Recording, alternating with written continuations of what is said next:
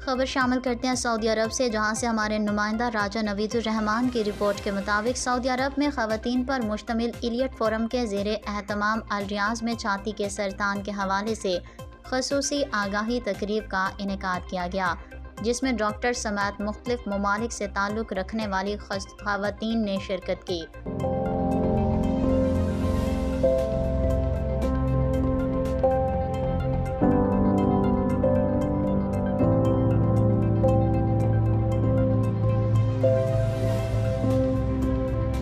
तकरीब से ख़ताब करते हुए फोरम के बानी जवेरिया असद का कहना था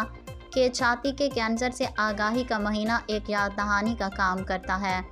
कि इलम ताकत है। इन खुराफात को दूर करके और दुरुस्त मालूम को फ़रोग देकर हम खातन को अपनी छाती के सेहत के बारे में बाखबर फ़ैसले करने का इख्तियार दे सकते हैं।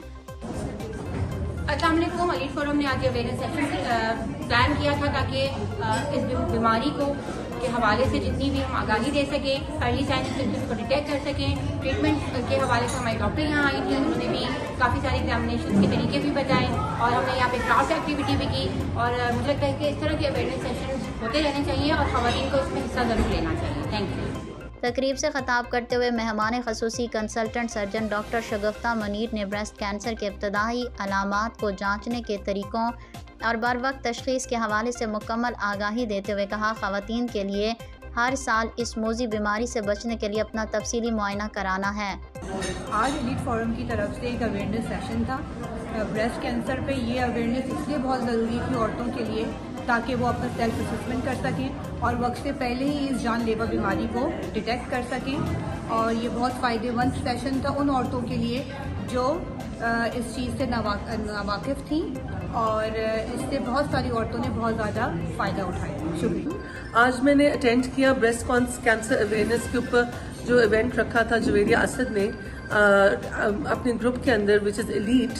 for elite ladies बहुत अच्छा लगा आके, बहुत अच्छी एक्टिविटीज़ इसने ऑर्गेनाइज की थी। पहले पूरी टॉक हुई about awareness about the issue और सेल्फ एग्जामिनेशन की ऑप्शन भी थी. And there was a lovely activity जिसमें हम सबने अपने लिए मोटिवेशनल कोर्स किए and painting was very therapeutic बहुत ही अच्छा सेशन था टाइम वेल स्पेंड और मतवाजन खुराक, बाकायदा जिसमानी सरगर्मी और कैंसर के मुनासिब स्क्रीनिंग के ज़रिए मजमू सेहत को तरजीह देना ज़्यादा मददगार है। तकरीब से मलिहा नदीम, असमा मजीद, सारा उमर, फरीना फसी और दीगर ने भी ख़ताब करते हुए कहा कि इस तरह के मालूमती प्रोग्राम्स को जारी रखना वक्त की अहम ज़रूरत है।